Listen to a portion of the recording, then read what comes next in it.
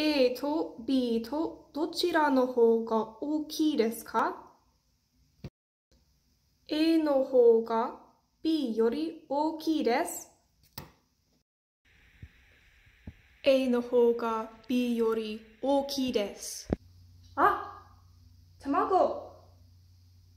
じゃあ、僕はこれ。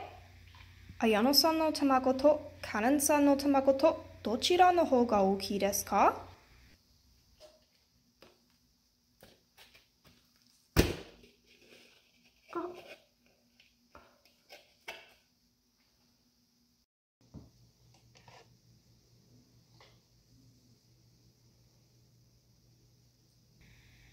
僕の卵の中での方がいっぱいです。